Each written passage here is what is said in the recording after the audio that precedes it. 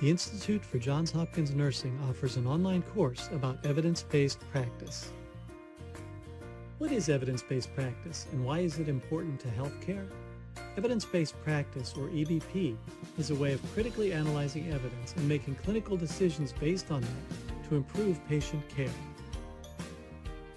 The Johns Hopkins Nursing EBP model offers a unique approach to evidence-based practice.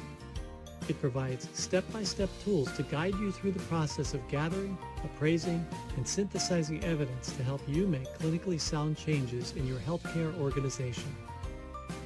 This five-module course, which provides ANCC continuing education contact hours, is an engaging online experience with interactive elements, self-checks, videos, and demonstrations, all designed to teach you how to seamlessly integrate EBP into your clinical environment.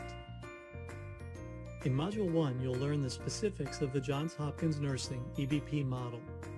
In Module 2, you'll learn how to take a clinical issue, define it, and learn how to plan an EBP project. Module 3 shows you how to appraise both research and non-research evidence. Module 4 covers how to summarize the research to draw clear evidence-based conclusions. Finally, in Module 5, you'll put it all together and learn how to communicate and implement evidence-based changes in your clinical practice.